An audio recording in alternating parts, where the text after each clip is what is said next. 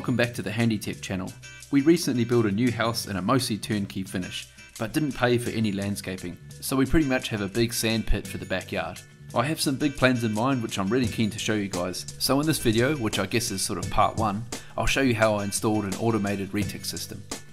As usual, I bought all the stuff for this job from Bunnings, my favourite store. I think in total I spent around a thousand bucks for the system. Most of the gear is a brand called Rainbird, and while individual parts might seem cheap, it all adds up pretty quick.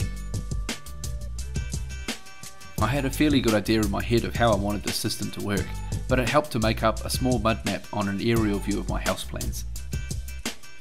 Now I don't have a dedicated mains connection for the retic, so I'm using some adapters to tap off a garden hose outlet. This part from Holman is pretty sweet, it's basically a 2 to 1 splitter and each side has its own shut off valve. That means I can still have a hose connection and on the other side I can adapt it into my 25mm retic piping. And the adapter is just a 25mm black plastic barb. Opposite that tap there is a small garden bed that I'm going to install my solenoids in. I've got this large plastic shroud that you can install in the dirt and it has a tidy green cover. It should be able to house all four valves in it. Now I've got to get a 25mm retic pipe and some control cabling below these bricks and the retaining wall. I had to use a combination of tools to get these bricks up, they were just packed in so tight. This was honestly probably the hardest part of the job and I'm not feeling confident getting these bricks back in, it's going to be pretty tough. Anyway, once the bricks were out, I got this little skinny spade and I dug a little trench that the conduit and control cabling could go in. Then I pissed around digging a hole below the retaining blocks, which was a bit of a mission too. There was a second row of retaining block inside the garden, so it was just a bit trickier. But we got there in the end, and that means that I can push through some of the 25mm conduit.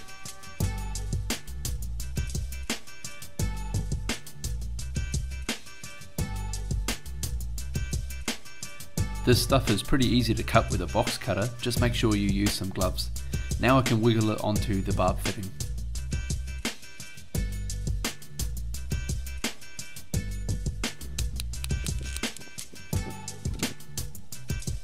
To keep things tidy, I installed some wall plugs and used a 25mm half saddle to fix the retic pipe to the wall. Next up, I used some 20mm flexible conduit to protect the control cabling from where I will install the controller. You might notice I've already put a drawstring in there to help me pull the cable through later.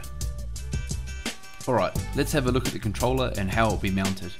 Now there are plenty of options out there controller wise, but I'm a bit of a hobbyist when it comes to home automation. In my case, I got a Wi-Fi 4 channel relay and flashed it with some open source firmware called Tasmota. I'll leave links for all the stuff down below. So the controller mounts on DIN rail inside this little housing. I'm not convinced that this is 100% waterproof, so I might just have to silicon it up later. I made a few holes in the box so I could put some 20mm conduit glands in it. This is where I mounted the controller. It's right next to my electrical switchboard and also directly above the tap where our reticulation is connected. I used a small piece of deflectable conduit between my controller and the switchboard so I can route my power supply cabling. This is where the conduit from under the retaining wall comes in. I use a second gland and mount it into the housing. There is an existing socket in the switchboard I can use and I installed two power supplies, a 12 volt DC supply to run the controller and a 24 volt AC supply to power the solenoid relays. Okay, now we need something to wire to, so let's set up the solenoids. I bought a master solenoid and three slaves. That means I can have three stations. I'm using a series of 25mm fittings to make a little system that will fit inside the plastic shroud in the garden.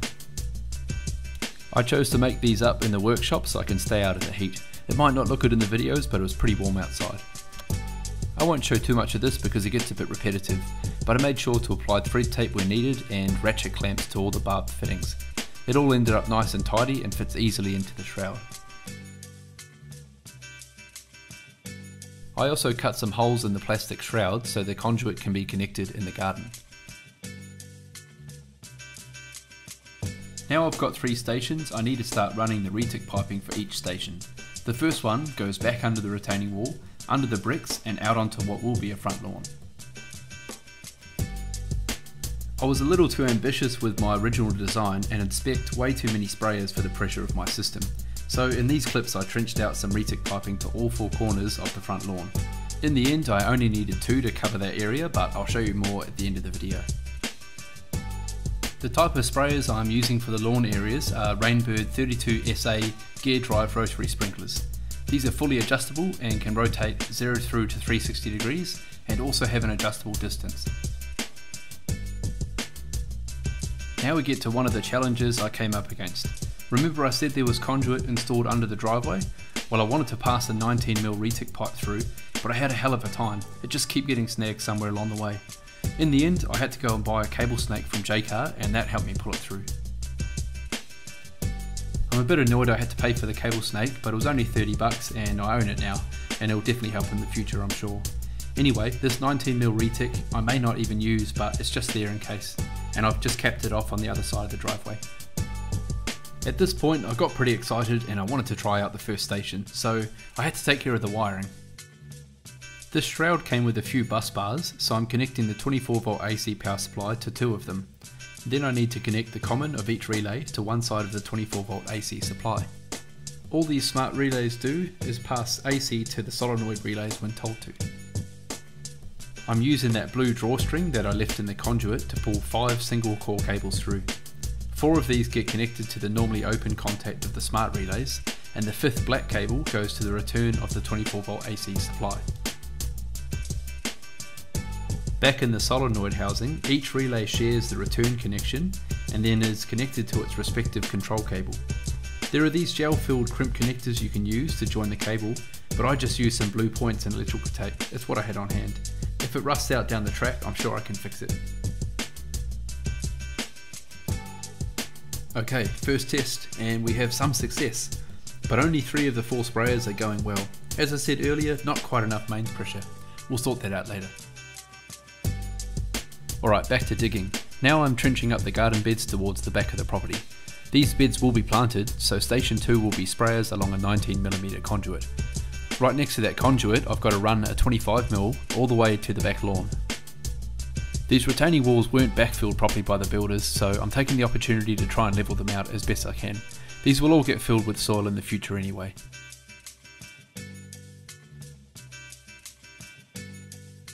These are the sprayers I'm using along that 19mm conduit for station 2.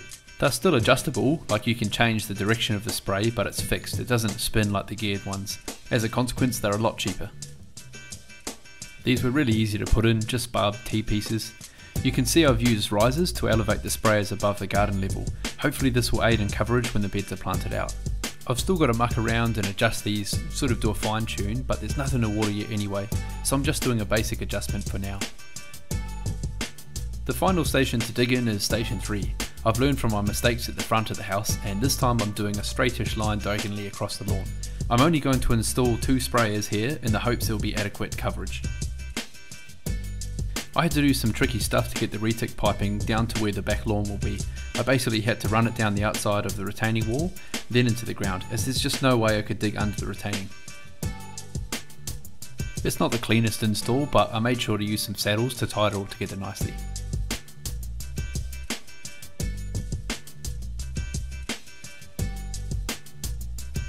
Alright, that's all sorted. Let's give it a go.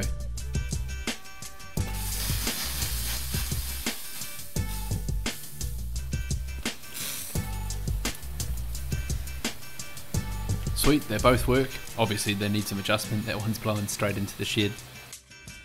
A little bit of a coverage issue just here. Might be able to play around with the distance off that one. And then the other one is this corner.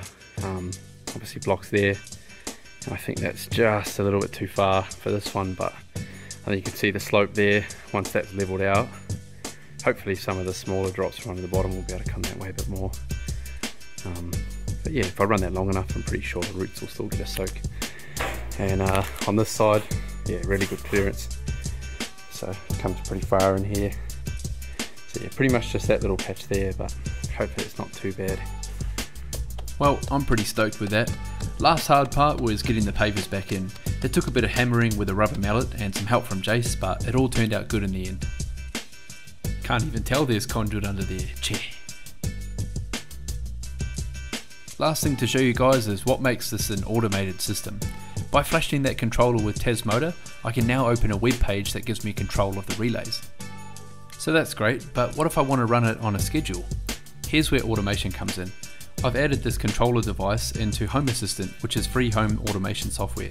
Here you can see the Wi-Fi signal quality and other info, and you can turn the relays on and off. Here's an example of an automation script. This is activated at 6am every morning but you could add conditions like it must be a certain day, or if it's going to rain, don't bother watering the lawns. Then I just turn the master on and the stations after that for whatever interval I choose. After it's done, turn them all off. I've also added notifications for when the sequence starts or stops. Well, that's about all for now. Hopefully you guys picked up some tips for installing your own Retic systems. In the next video, I'll show you how I installed a shed in the backyard with a few additions. If you enjoyed this video, please consider subscribing to my channel. I'll see you guys on the next one.